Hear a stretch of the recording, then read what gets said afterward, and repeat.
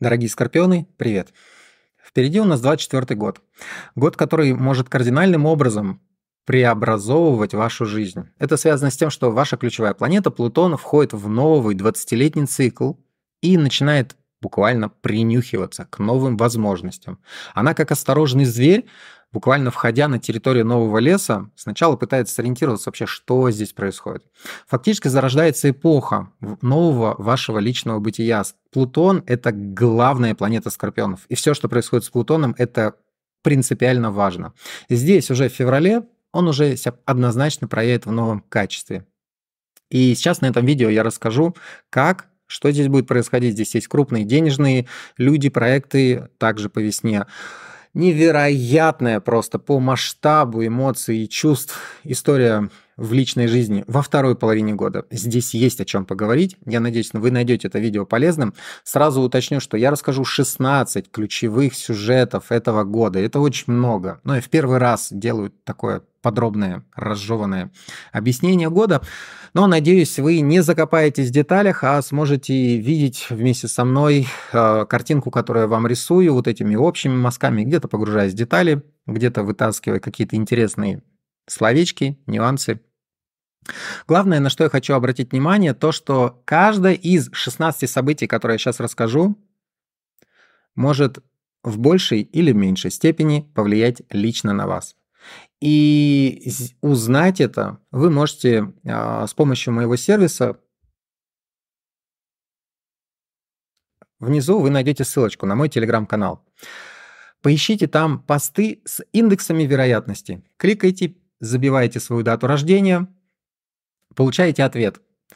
Какие из этих 16 событий имеют для вашей лично даты рождения особенное значение? А какие, в принципе, не важны? Этот сервис помогает уточнить э, общий прогноз для скорпионов применительно конкретной дате рождения. Как оно накладывается. Ну, в принципе, те, кто сами разбираются в астрологии, я думаю, вы сможете посчитать, посмотреть свою карту. Благо, я здесь буду демонстрировать карту и вместе с вами ее комментировать. Ну, я думаю, вы сможете и просто по вот этой карте сориентироваться уже те, кто сами все строят. Ну, давайте разберем начало года. Что нас здесь ждет, на что обращать внимание. Здесь есть очень хороший период, который дает много силы а, на то, чтобы трудиться и обучаться. Это может один из э, таких очень интенсивных периодов обучения, который попадет на последнюю неделю января. Словно бы и в жизни столько не учился, как вот здесь вот интенсивно приходится быстро перестраиваться в своей работе, а, в своей какой-то привычной деятельности, и координировать какие-то программы, проекты и вмещать в себя большой поток информации. Период очень эффективный. Я бы рекомендовал здесь прям вот зацепиться зубами и вырвать какой-то важный денежный кусок. Далее, в феврале, там пойдет время обучения, там как раз придет время вот это принюхивания к новым возможностям, словно бы вы вступаете в новую эпоху. Здесь же просто в январе нужно просто хорошо поработать, закатав рукава, вот особенно во второй половине месяца. А, 2024 год, он очень много знакомит с новыми реалиями. Ну, там вот февраль, апрель, май, июнь. Такое ощущение, что там жизнь предлагает кардинально новый ритм а, развития. Оно, жизнь ускоряет вас. Нужно бежать, нужно вот это разобраться, там обучиться, здесь обучиться. А вот январь – это просто отпахать там, где вы уже все знаете. Просто собрались, взяли себя в кучку, а здесь будут все шансы для этого. А, очень хорошая команда может попасться к вам. А, и вот сразу с места в карьер сделаем хороший результат. Вся вторая половина января этому посвящена. Да, там есть небольшие нестыковки, а, местами приходится дергаться очень сильно между разными проектами. Это дергание норма, там уже 11 января обозначится, что нам нужно то ли делать сразу два проекта, то ли запускаться сразу в нескольких направлениях, нужно и там, и здесь успеть. Но, несмотря на это дергание стороны в сторону, вторая половина января исключительно в рамках своих результатов.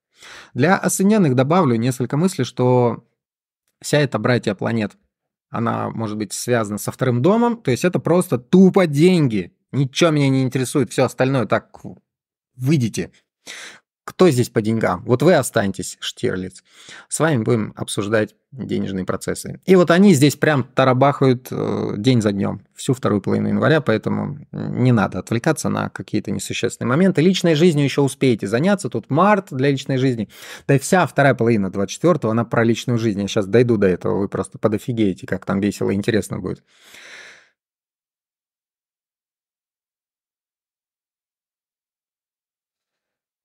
Плутон, который переходит знак Водолей. А, здесь а, а, демонстрируют себя те проекты, которые являются символом предстоящей эпохи на ближайшие лет 20. Это очень большой сдвиг, при этом Плутон – это ваша главная планета, и фактически в каком знаке, какие процессы, какие аспекты с этим Плутоном происходят, фактически является прямым синонимом, что происходит со Скорпионами.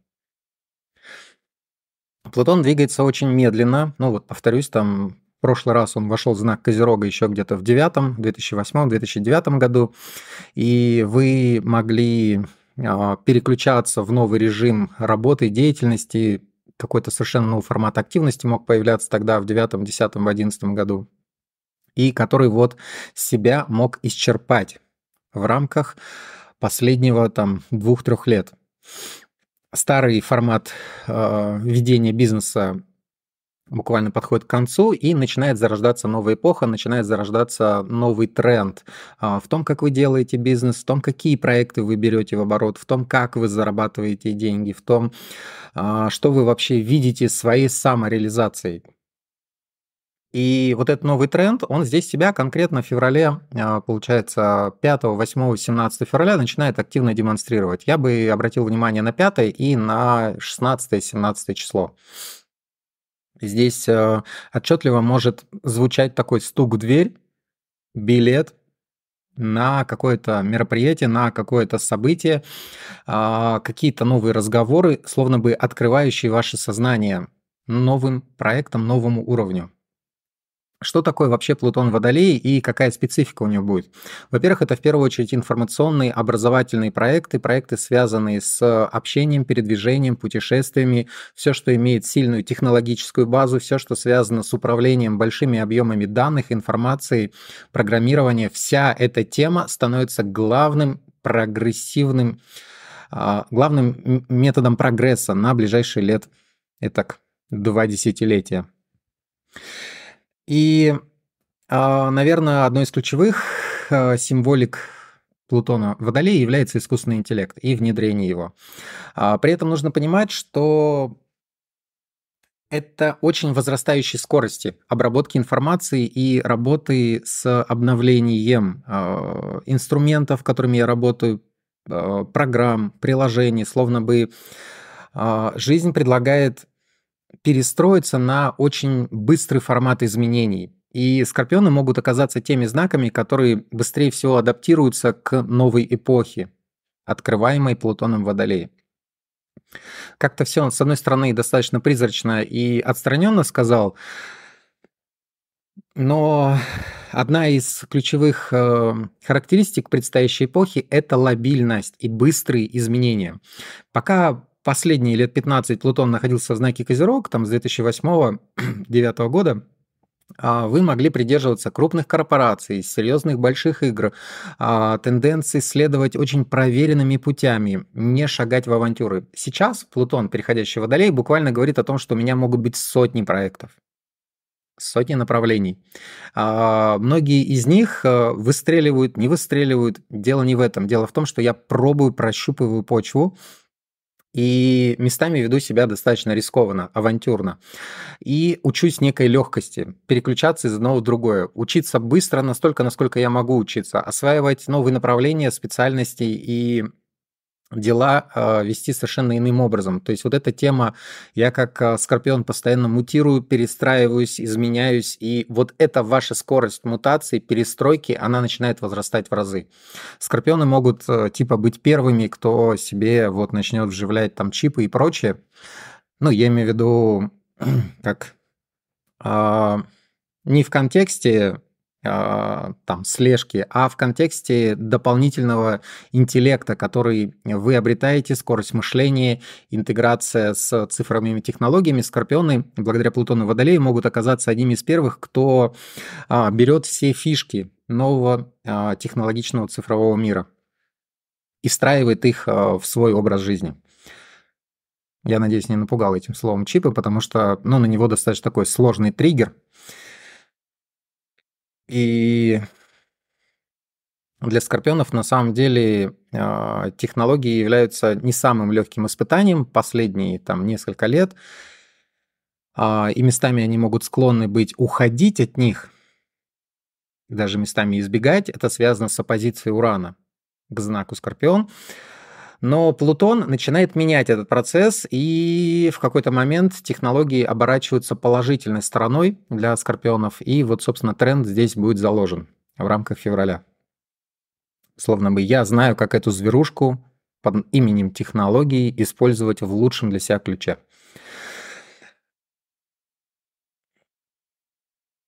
Для асцендентных э, добавлю небольшие комментарии что Плутон сам по себе Водолей находится в третьем доме, и он э, символизирует мега-обучаемость, э, управление какими-то информационными проектами, э, координирование проектов, умение направлять ну, вот эти информационные большие потоки данных, работать с ними, вести переговоры крупные, особенно с информационными и компаниями, которыми занимаются программированием. То есть это может стать одним из главных таких фокусов.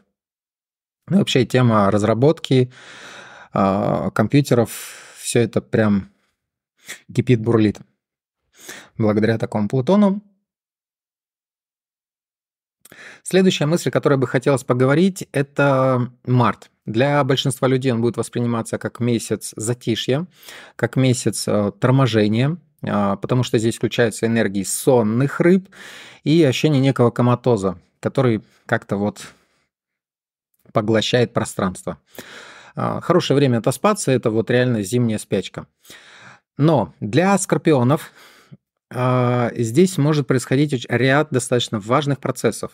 А, если вы тот человек, который связан с HR, с набором людей, с управлением человеч...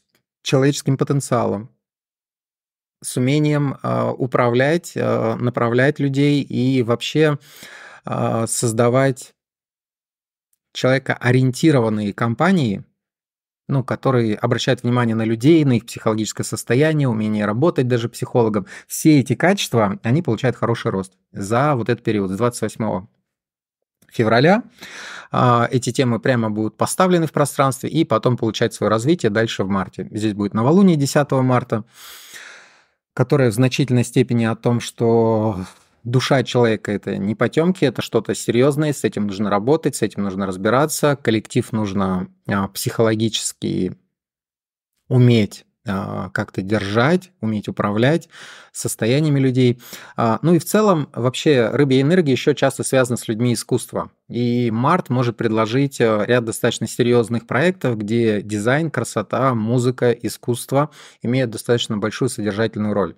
Ну и еще водная стихия мог, может быть связана там, с парфюмерией, с алкоголем, с э, нефтью и взаимодействием э, с бизнесами, людьми вот из этих сфер. Для асцендентных добавлю, что вся эта рыбья тема, скорее всего, связана с темой четвертого дома. Я занимаюсь серьезными задачами со своей недвижимостью. А, возможно, занимаюсь э, созданием какого-то родового гнезда или какой-то точки опоры. А, возможно, занимаюсь серьезной исследовательской работой. По четвертому дому часто люди занимаются ну, фундаментальными исследованиями. А, Четвертый дом также это карма рода, то есть а, понимание своих психологических глубин, как я связан со своими родственниками, какие программы я от них перенимаю. А, возможно, какая-то родология или кармология может стать одним из таких важных элементов, которые вы откроете для себя в рамках этого марта.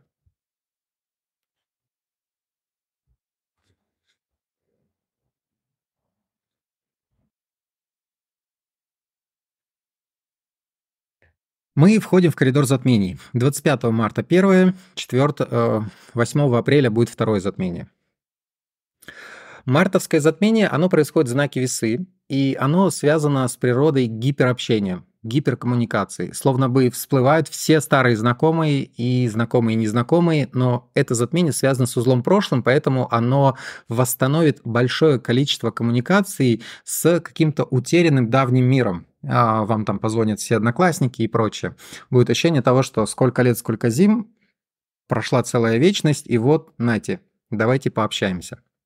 И в этом смысле э, это затмение носит такую хорошую отдушину. Во-первых, после мартовской спячки в конце марта оно прям воспринимается вау, на просто на ура, ощущение того, что мы наконец-то встретились, увиделись, обсудили, поболтали, просто не замолкая, а, встретился со всеми старыми друзьями, которые были, которых знал.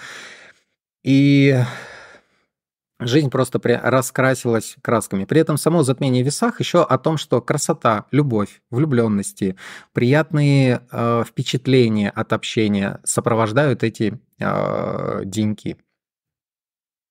Для асцендентных уточню, что само по себе затмение пойдет по 11 дому, это я восстанавливаю связи с сообществами, комьюнити, с которыми я раньше дружил. Вновь начинаю ходить на какие-то психологические кружки, вновь хожу по каким-то консультациям, а, получаю много знакомств со старыми друзьями, вновь мы где-то там встречаемся. То есть, а, особенно если это коллективы, которые связаны с какой-то средой консультирования. Может быть, я встречаюсь со своими там друзьями-юристами, может быть, я встречаюсь со своими друзьями-психологами или консультантами. Вот э, подобный формат, подружиться вновь с большой какой-то интересной командой, с которой я раньше много общался, вот вернет вас к этому, э, собственно, данное затмение.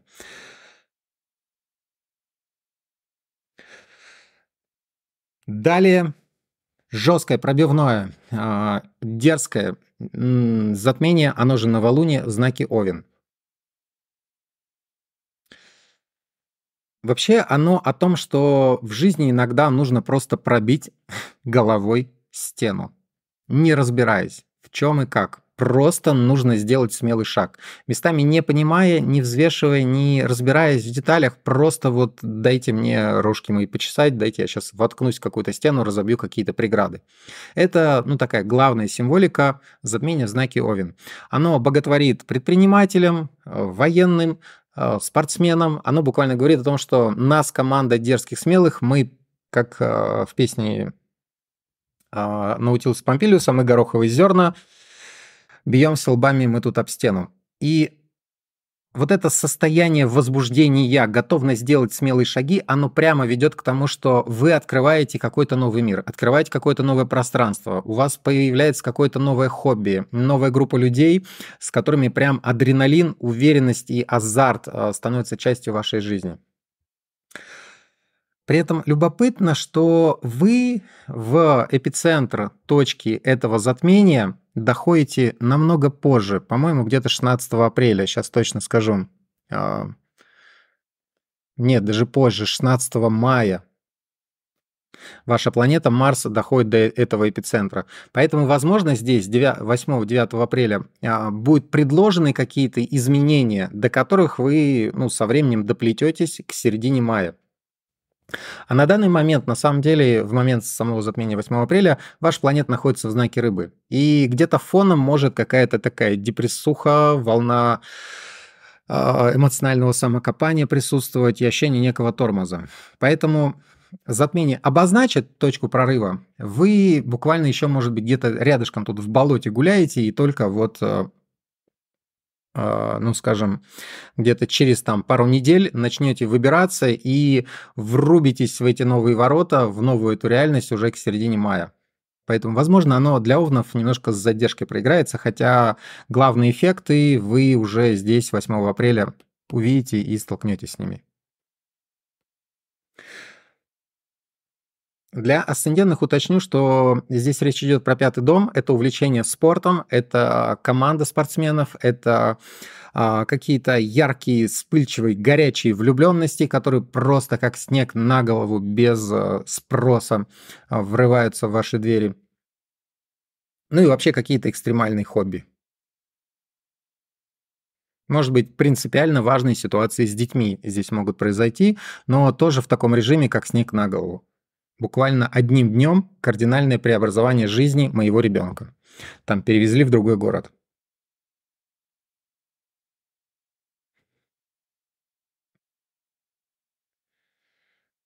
Следующее а, очень а, ценное событие, новолуние, которое происходит в знаке Телец, и энергии а, материально успешных партнеров, которые обитают в рамках вот мая. Может быть, уже с конца апреля в мае жизнь будет прилагать в ваше пространство все больше и больше людей, которые состоялись в цифровом а, может быть, интернет-комьюнити, добились там хороших денежных результатов, которые а, добились результатов а, в цифровых инвестициях, ну или вот то, что связано там с криптовалютами. И сотрудничество с ними является одним из таких важных привлекательных сюжетов на апрель май. Вы словно бы а, приглашены на какую-то конференцию, где много крутых спикеров, которые разговаривают про деньги, про новые технологии, про изменения в реальности, а, ну, в прежней материальной реальности. То есть это некая банковская революция, это тема изменения прежних больших а, финансовых игр на какие-то новые условия. Идеально, да, если вы попадаете на какие-то такие мероприятия, знакомитесь э, с влиятельными людьми, получаете для себя какие-то ответы, откровения, но э, здесь нужно иметь в виду, что во всех этих событиях э, знакомства с финансово влиятельными людьми есть элемент черной луны. Черная луна может символизировать, что проект, который мы начинаем и цепляемся вот за сотрудничество с этими людьми, а, представляющими крупные инвестиционные игры, какие-то проекты, наше взаимодействие с ними на каких-то липовых условиях или на каких-то пока не совсем проясненных обстоятельствах существует. И очень хорошо бы здесь а, копать документы вглубь, проверять а, буквально даже там орфографические ошибки в документах, а, четко прописывать обязательства и условия, потому что изначально черная луна, она может создавать некую легкомысленность и неаккуратность в ведении дел, отчетности бумаг и бухгалтерии. И, соответственно, где-то подвести. Ну, конечно, стоит избегать прям откровенного мухляжа, который иногда черная луна может предложить, и откровенного скама, который может э, существовать в формате каких-то интернет-проектов, связанных с криптовалютами. Ну, скам это вот типа МММ. То есть, когда обещания идут, а потом просто организация исчезает. Все-таки к этому стоит быть здесь очень бдительным, потому, бдительным. А, также важной частью этих дней является то, что партнеры тащат вас за собой. Словно бы вы вдохновлены какими-то персонами, которые рисуют интересные там золотые горы, и, в принципе, имеют право их рисовать. Ну, то есть это не просто хайпажоры, а это могут быть очень веселые, ой, очень веселые, очень весомые а, люди, которые одновременно и технологиями занимаются, и деньгами, и э, с ними ну, реально приятно идти вместе. Э, это может быть э, дружба, ну вот реально с э, людьми высоких постов, которые реально определяют судьбу э, мира, особенно судьбу цифрового мира. Вот с ними здесь стоит в первую очередь дружить, через них вы можете выйти а, на интересные для вас проекты. И одновременно здесь есть тема инвестиций. Они могут вас научить, они могут вас подтолкнуть, они могут стать человеком, который предложит вам возможность инвестировать и прочее. А, Еще важной частью этого мая является именно личная жизнь. А, здесь будет склонность к щедрым подаркам в отношениях и от партнера, и от вас. То есть, в принципе, тематика того, что жизнь личная должна быть предметом роскоши, богатства, должна выглядеть а, источником благополучия, и возможность все это создать здесь присутствует. И особенно ценным здесь могут оказаться советы от э, друзей, от партнеров в личной жизни, от партнеров в работе, а, потому что каждый совет реально может быть как изумруд, как алмаз, как ценный какой-то камень, который вот реально преображает и вносит в вашу жизнь озарение. И это озарение именно связано с материально-денежной программой и материально-денежными делами. То есть у вас может появиться советник, за которого вы как за золото будете цепляться, потому что от него реально какие-то гениальные вещи исходят. Поэтому одна из, наверное, ключевых а, рекомендаций прислушиваться к советам и, возможно, искать людей, которые могут оказаться в будущем ценными как советниками а, для вашей, ну, в первую очередь, денежно-материальной сферы. Ну и в остальном, а, если вы без отношений, то это время может предложить э, знакомства, вдохновляющие, оптимистичные, особенно с людьми, там, программистами из мира технологий, с людьми, кто взаимодействует с этим новым, странным технологичным миром. Э, здесь могут завязаться вполне такая вдохновляющая, любовная а, история, рандеву, и при этом, скорее всего, партнер будет достаточно состоятельным. Ну, есть на это предпосылки все. Для асцендентных уточню, что все это реализация седьмого дома, все сказанное ранее про тему партнерства. Вот тебе объект любви, вот и, и достаточно влиятельная, яркая персона, с которой, возможно, ну, например, личные отношения, или если вы уже в личных отношениях, тогда эти аспекты, они звучат как мы с партнером вдохновляемся чем-то, и партнер буквально ведет меня за собой, вдохновляет меня за ну, идти, в, как, открывать какие-то новые материальные перспективные реалии. То есть партнер может утащить меня в более богатую страну жить. Партнер может вытащить меня а, в новую, более успешную организацию работать. Поэтому, если кто-то вас здесь хватает за руку, я бы рекомендовал не противиться сильно. Партнер может привнести благость в вашу реальность, которая здесь присутствует. Ну или появится или уже есть. Следующий период – июнь. А, он похож по энергетике на феврале. Много общения, много коммуникаций, много знакомств. А, жизнь предлагает а, рост образовательным проектам. Достаточно большой бум образовательных проектов я бы ожидал здесь в рамках июня. Ну, по крайней мере, они очень хорошо питаются деньгами, они очень э, имеют большой спрос у сообщества. И а, там достаточно крупные деньги варятся в этой сфере. Если вдруг как-то вы связаны с образованием, с перемещениями, с поездками, с управлением данными, управлением информацией, то все эти сферы, они как пос, а, грибы после дождичка. И здесь растут, пухнут и сразу вот какие-то объемы хорошие получают и по выгоде могут быть очень привлекательны. При этом июнь, а, особенно первые числа, ну где-то 5-6 июня, прямо могут звучать продолжение февральских сюжетов, словно вы в феврале, вот вы нос куда-то засунули, о, интересно, давай-ка я вот в этом направлении подвинусь, то начало июня прям будет звучать, да вот на тебе еще деньги, давай, развивайся, запускай этот проект.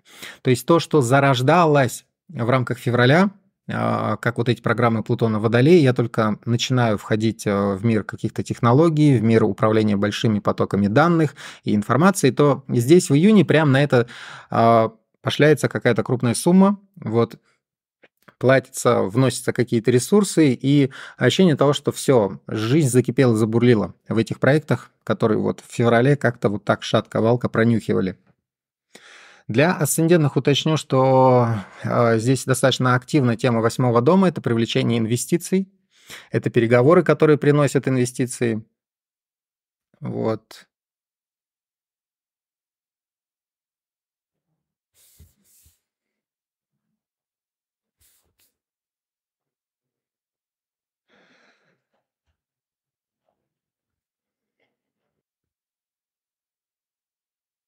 Время передышки в конце июня и в начале июля. Время, в которое можно немножко расслабиться, выдохнуть и ну, немножко уже не торопиться. А, был достаточно бешеный ритм, а, наверное, всю первую половину июня, там нельзя было остановиться, нельзя было передохнуть. Здесь немножко пофигизм накрывает на тему того, что ну окей, что-то там сделали, но вот э, местами есть даже тенденция забросить те образовательные проекты или где-то попустительство включить к ним, э, которые вот сейчас э, там в июне запускались. Поэтому все-таки аккуратнее. А, прям отчетливо где-то числа 3 июля может возникнуть такая тема, что я что-то просохатил а, сроки или где-то легкомысленно отнесся к тем проектам, которые мы делали в рамках там февраля и июня, и что-то прозевал. Поэтому ну, бдительности не теряйте, хотя сам по себе вот этот участок э, с конца июня и июль, он все-таки про то, чтобы отдохнуть, расслабиться, восстановить силы. И идеально, если вы этим ну, все-таки не брезгуете. И главный, э, как сказать, э, успех эффективной работы – это хороший отдых. Вот здесь хорошо бы эту формулировку вспомнить и дать себе время, возможность.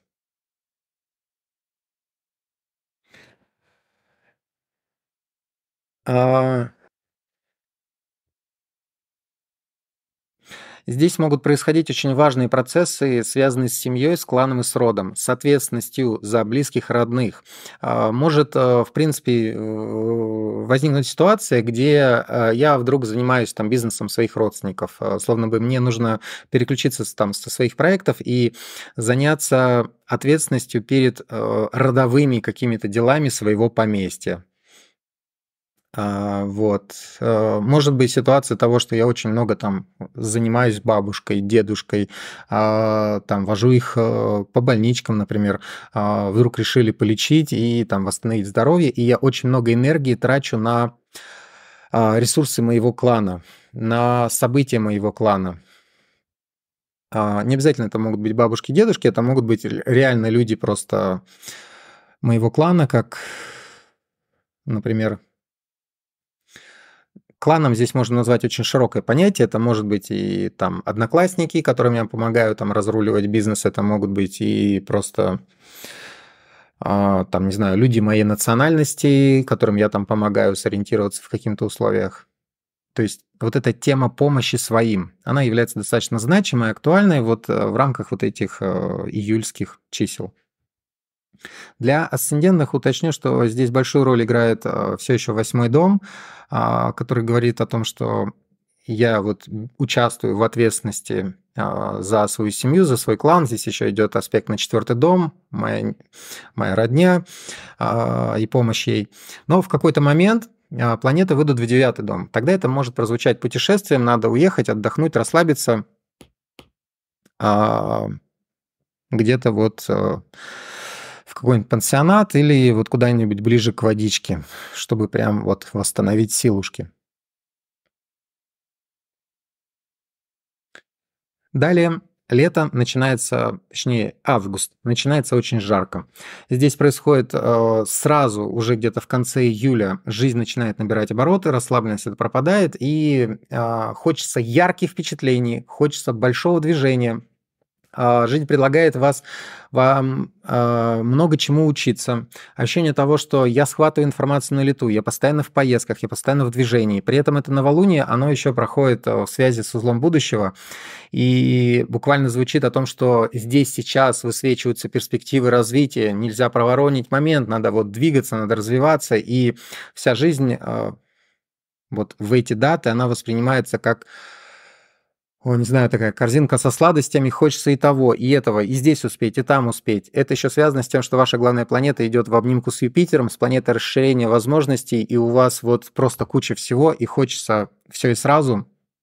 И вот этот позитивный настрой Юпитера, он рулит э, на вот эти первые числа, ну, на первую половину августа.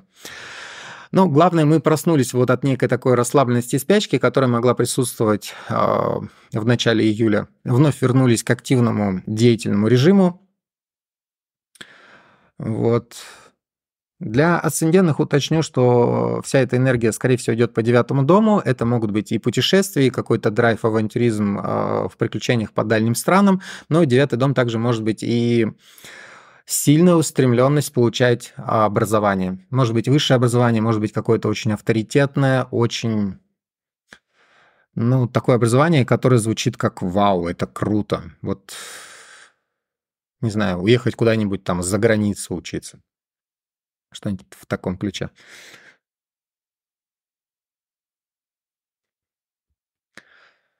Далее давайте поговорим про черную луну в весах.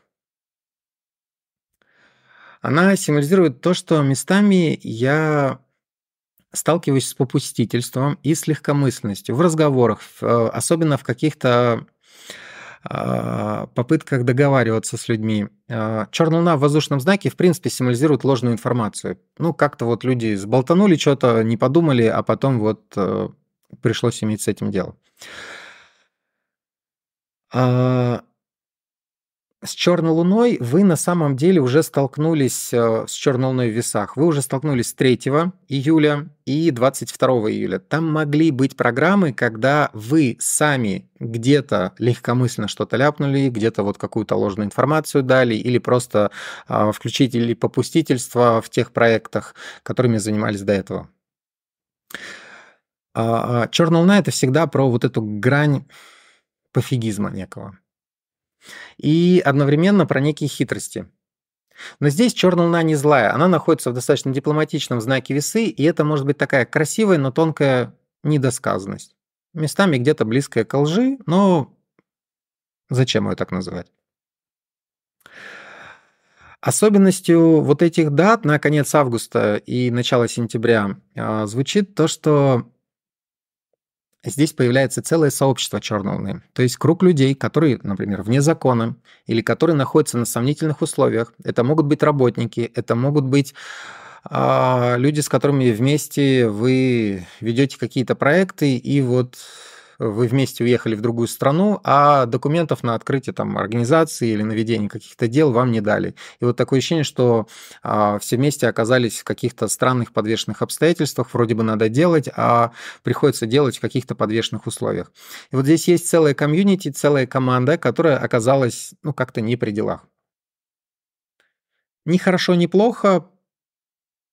Ну, совет, который здесь можно было бы дать, это а, примите некую сумбурность и неопределенность происходящего вот на эти числа, особенно с 26 августа по 5 сентября. Одно из наглядных проявлений черной луны – это любовные авантюры, в которых ничего серьезного. Особенно это проиграется 5 сентября. Может появиться человек, может появиться приглашение в любовь, в отношения, и все так красиво-красиво, сладко-речиво, но такое ощущение, что за словами вообще ничего не стоит. И вот это некая легкомысленная игра в любовь, а, как пустой, сотрясаемый воздух, а, вот она прям может прозвучать 5 сентября. Тоже не хорошо, не плохо, просто имейте в виду. А, Наверное, самым аккуратным я бы считал здесь все-таки тему того, что жизнь может вас свести с нечистоплотным человеком, с человеком, который склонен ну, к какому-то мухляжу на словах, Мухлежу. Какое красивое слово. И что оно значит? Ну вот, звучит как французское какое-то прекрасное мухлежу. А по факту оказывается просто жу. Ну, в общем, здесь вот что-то такое, вроде бы прекрасное по форме, но странное по содержанию. И в формате любви, и в формате отношений на 5 сентября.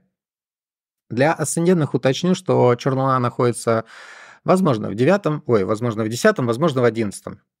Если она находится в десятом, то это, возможно, начальник такой мухляжу. Если эта черная луна находится в одиннадцатом, то друзья немножко сомнительной компании.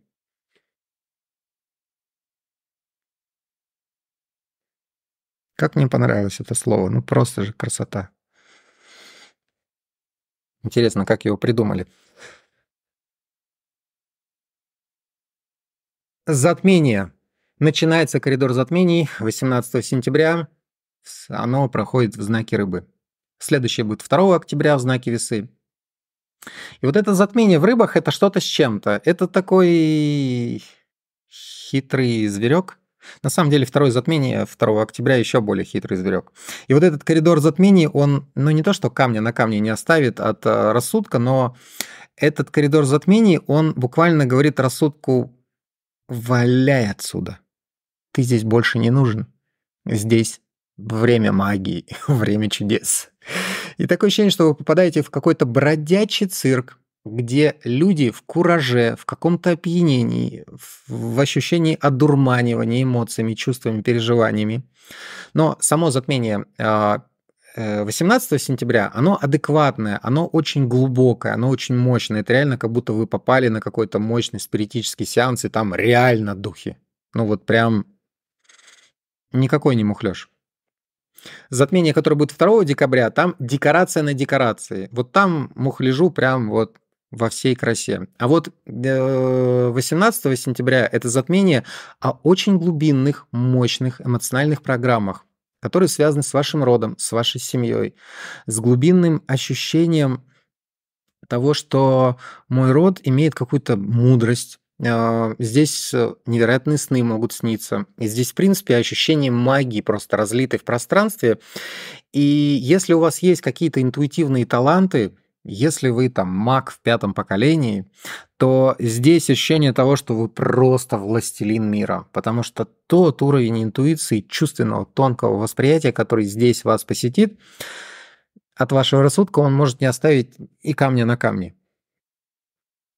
Потом придется возвращать в ум разум после таких затмений.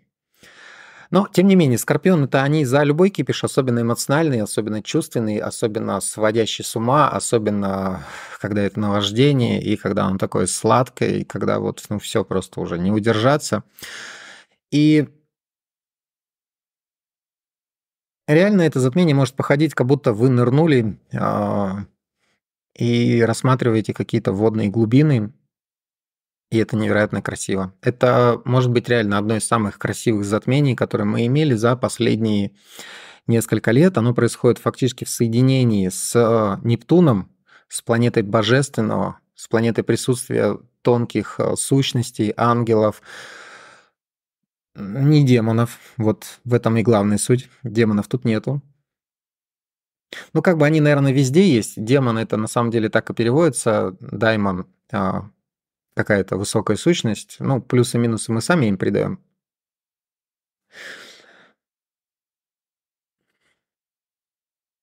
Так вот, давайте вернемся к реальности. Ну, вот это затмение, оно уводит от реальности. Если добавить пару слов для асцендентных, то оно прямо проходит э, по четвертому дому э, и будет связано с кармой рода. Оно будет связано с тем, что я хочу, э, чтобы мой дом в моем доме присутствовала какая-то высшая сила. Немножко странно звучит, конечно. А, ну, может быть, что мой дом имел бы религиозность, какое-то духовное содержание.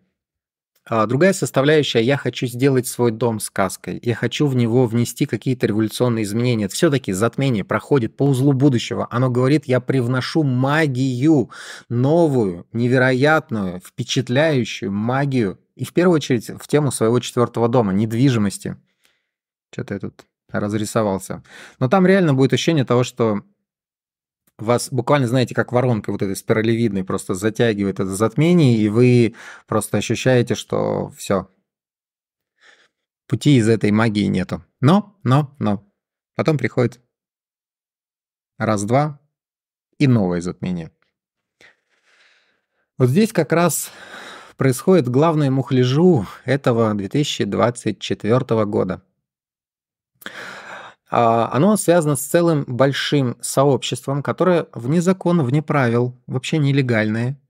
И это может быть э, поток мигрантов, это может быть э, поток людей, которые ну вот буквально в никуда отправились. Посмотрим, как это проиграется в реальной такой большой политической игре. А, главное, на что рекомендовал бы обращать внимание, не принимать, наверное, каких-то серьезных шагов. Все, что здесь не, происход... Э, не... не происходило бы, оно имеет очень сильное информационное искажение. А, то есть говорим одно, думаем другое, а, вообразили одно, а в реальности вообще все иначе. И при этом здесь может косячить интуиция. Если, если 16, э, точнее 18 сентября было затмение в рыбах, оно обостряло интуицию, оно просто говорило «отключи мозг, закрой глаза и почувствуй, принюхайся, обратись к своим инстинктам, своим глубинным каким-то состояниям, и ты найдешь ответ». То здесь в затмении 2 октября ответы сыпятся, вот то, сделай это, так, сяк, так. И вот ощущение того, что да уже замолчите, блин, только толку сбиваете. И вот затмение 2 октября, оно главная, наверное, его смысловая нагрузка, это просто сбить с толку, дезориентировать, и вот что, куда вообще бежим, то непонятно. И вот эта формулировка, она непонятна вообще. Главный смысл всего, что здесь происходит. То есть, если затмение 18 сентября слушать сердцем, и вы поймете, куда, зачем, что, то в затмении 2 сентября просто развлекаемся театром абсурда. Здесь реальная Алиса в зазеркале. Ощущение того, что ну такой вообще бред придумали. Но весело, интересно. А, опять же, нужно понимать, что это затмение происходит в знаке весы. А, весы связаны, например, с юриспруденцией. И затмение веса говорит о, про какую-то ложную юриспруденцию, которая вот, ну, вроде бы на словах есть, а по факту ха-ха-ха. Какое там правосудие? Никакого там его нет. А, весы также символ красоты и любви. А, Венера с затмением, ой, Венера, черная луна с затмением в весах. Здесь буквально звучит, что любовь такое красивое, а, такое обольщающее, а по факту выясняется, что ну как-то вот придумали все. Злодеи, мужчины или там женщины, там уж сами придумайте, кто придумал. Но вот ощущение того, что а, любовь это какая-то нечестная игра, и вообще все это сомнительно. Мне здесь э, вспоминается дельфин. Э, фух. Э, ну, есть у нас певец на постсоветской сцене, э, э, группа «Мальчишник» и «Дельфин». У него как раз очень сильная выраженная черная луна, и он как раз весы. И он как раз является символом, что такое получается, когда черная луна и весы сочетаются в одном флаконе. Это и безудержный секс, секс, как это мило, это и вот вся, весь этот бэкграунд, который стоит за дельфином и самой группой мальчишник. Здесь очень много такого веселья происходит, но адекватности оно какой-то не особо оставляет. Поэтому тут смотрите сами. Вляпываться, не вляпываться, как проводить время, чем заниматься. Но предложений будет достаточно.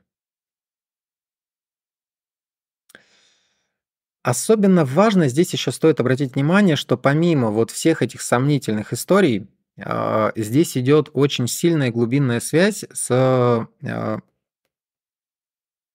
так, ты что, не работаешь? очень сильная глубинная связь э, с людьми, с каким-то человеком, с которым очень тонкая эмоциональная настройка. И это особенно значимо видеть в рамках вот э, сентября-октября, в рамках этого коридора затмений, что будут ситуации, например, отношений, которые фиктивные, которые легкомысленные, которые ни о чем с людьми сомнительной репутацией, а будет очень глубокая эмоциональная волна тонкой сонастройки, которая обозначилась 18 сентября в затмении и которая красной нитью идет э, такой волной узнавания своей души. И здесь даже вокруг затмения 2 октября это тоже будет чувствоваться. Поэтому сразу ну, буквально имейте в виду, что здесь есть две программы личной жизни или отношений. Одна с очень глубокой, тонкой душевной настройкой, и вторая вот этот э, веселый маскарад. Для асцендентных уточню, что затмение, э, скорее всего, идет по 12 дому и, соответственно, связано, ой, по 11 дому. И связано с тем, что у меня какая-то сомнительная компания, в которую я вписался, и вот э, сомнительная команда. Сомнительная не в плане прям негативная, а просто людей, оказавшихся в, подвешенных полож... оказавшихся в подвешенном положении. Или, может быть, не очень правдивых на слова. Также черная луна часто связана с эзотерикой, и это потому, что черная луна символизирует символическое восприятие вещей, то есть когда вы оперируете не реальными людьми, а вот цифрами. Ты вот двойка, ты вот пятерка, а ты вот девятка. Ну, знаете нумерологию, наверное. И у каждого числа своя характеристика, и мы познаем э, людей через символы. Мы познаем энергии этого мира через символы. И затмение, оно очень сильно обозначит вот это символическое видение реалий. Поэтому эзотерика, всякого рода мистика, она тоже имеет очень сильные, яркие моменты проявления. Вас дико может увлечь какая-нибудь эзотерическая система и вдохновить вас невероятно на вот момент этого затмения.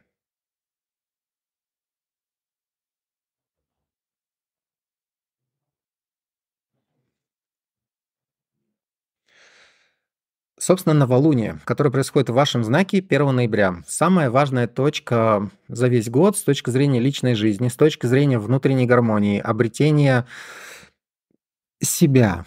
Просто вот вернуться к себе некому единому и оно дает очень много силы, очень много уверенности, и оно также решает хорошие финансовые вопросы. Оно говорит о том, что я живу душой, и вдруг я ее слышу очень ясно, очень хорошо. И это новолуние, оно является прямым э, последователем затмения, которое было 18 сентября. Там вас зацепило что-то в душе, там вы почувствовали более тонкие, высокие вещи, а новолуние 1 ноября, оно прямо раскрывает эту тонкость так, что вы ее прямо осознаете, раскладываете на пазлы, чувствуете, воспринимаете. Э, может быть, если в вас открылся музыкальный талант, например, в затмении 18 сентября, то здесь 1 ноября вы уже поете, вы уже обрели вот магию управлять. А, здесь очень сильная астральная магия, возможно. То есть вы о чем-то думаете, и ваш посыл сразу уходит. Вот эта эмоциональная почта. Подумал хорошо о человеке, ему хорошо стало. Подумал плохо, не знаю, как ему стало. Здесь главное, чтобы обратно не прилетело.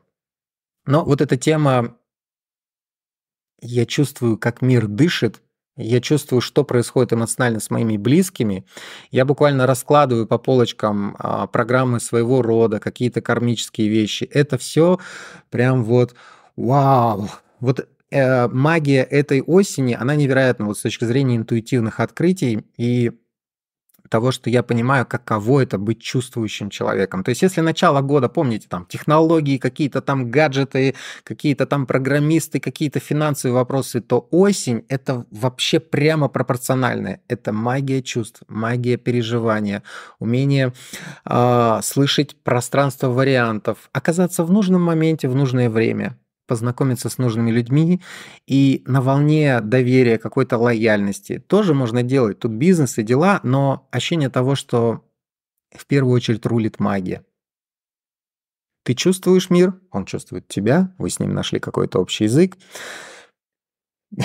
Хотел сказать, главное в дурку не уехать на этом затмении 18 сентября со всеми этими чувствами и сверхчувствительностью. Но скорпионы по-любому справятся. Мне кажется, скорпионов никогда не увозят в дурку. Хотелось, хотелось такой провокационный вопрос задать. Угадайте, почему. В общем, буду ждать ваши ответы и вопросы. А, очень хорошо здесь в этом новолунии чувствуются кровные обязательства, а, кто мои люди, кто не мои. Ну вот эта интуиция, она прямо хорошо работает. Для асцендентных уточню, что само по себе новолуние может иметь отношение и к 12 дому, тогда это вот все-таки обострение интуитивных талантов. Оно может иметь первому дому, тогда оно может звучать, что вас просят возглавить, вас просят стать в центре внимания, вы являетесь человеком, а, который ведет за собой, который явен пред предъявлен окружению и на которого все смотрят с открытыми ртами. Ну, в каком-то роде вы здесь главный мастер, а, главный маг и главный чародей. Тогда так оно будет звучать, если оно по первому дому. И все об этом знают. Если в 12 то, может быть, никто не знает, хотя это не отменяет а, вашей роли. 12 дом все-таки я немножко в тайне держусь. Скорпионы так как раз и любят, кстати.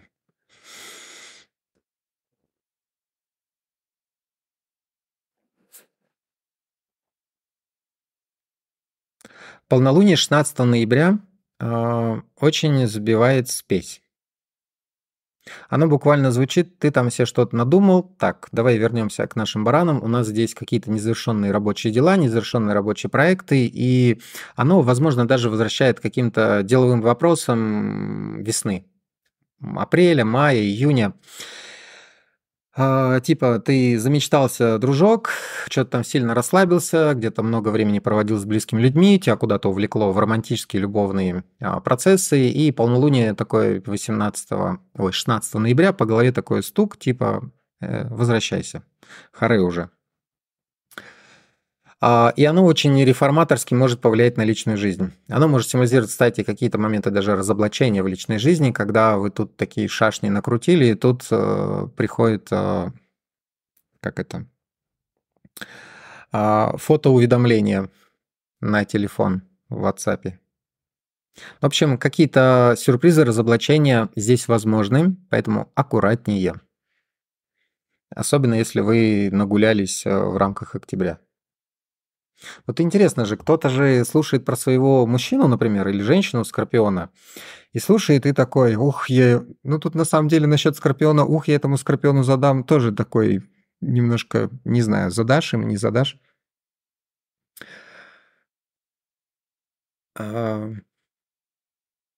В общем, если вы слушаете про партнера, мужчину или женщину, напишите, мне интересно, как многие вообще смотрят прогнозы не для себя, а вот ну, узнать, что там, что там, что там ждет моего а, возлюбленного, возлюбленную.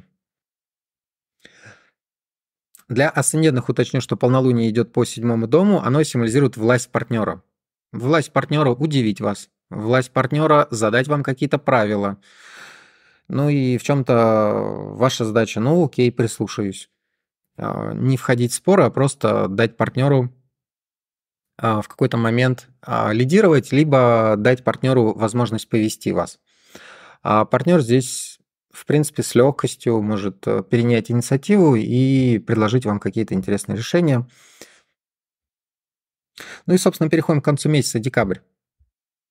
А, новолуние в Стрельце, оно звучит как а, тема такой большой активной деятельности. А, тут ситуация следующая. Вы могли находиться в неком таком эмоциональном болотце. Сентябрь, октябрь, ноябрь, чувствовать, словно бы жизнь вот она такая где-то астрально происходит, там в чувствах, в эмоциях то декабрь он прям пробуждает к деятельности. Может быть, даже уже конец ноября, прям вот проснись и пой, птичка. И здесь очень деятельный, он достаточно хороший по результатам, и ощущение того, что жизнь прям вот этим новолунием особенно сразу вот пробуждает, хотя я бы считал, что вас полнолуние 16 сентября уже включит в какой-то рабочий режим, что типа проснись, давай займемся делами. И здесь весь декабрь вот такой весь а, в какой-то активной суете. Для асцендентных уточню, что само по себе новолуние, скорее всего, будет иметь отношение ко второму дому. Я занимаюсь деньгами, меня переключило на финансовый вектор, и вот э, давай бегать, решать. Э, меня мотивируют деньги, деньги. Деньги мотивируют меня. А, ну и в целом вот принимаю э, финансовые решения одни за других, ищу какие-то возможности заработать. Вот в таком больше ключе звучит декабрь. Но здесь происходит главное событие года, ну, возможно, главное, это начало ретроградного Марса. О нем скажу чуть позже.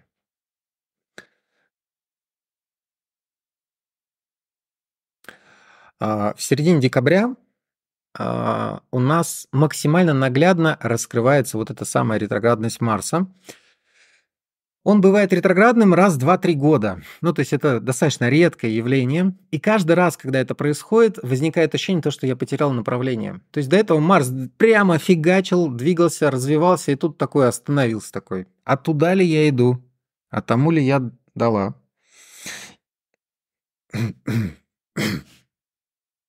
И начинает какой-то процесс переосмысления своей жизни вообще включаться. То ли я, туда ли я.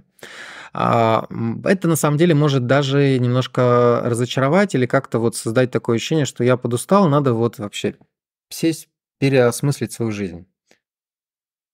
И с одной стороны, весь декабрь, он достаточно энергичный, то есть дел приходится здесь много, прос... птичка наша проснулась, поет, а, много дерзости, инициативности, смелости, активности здесь много.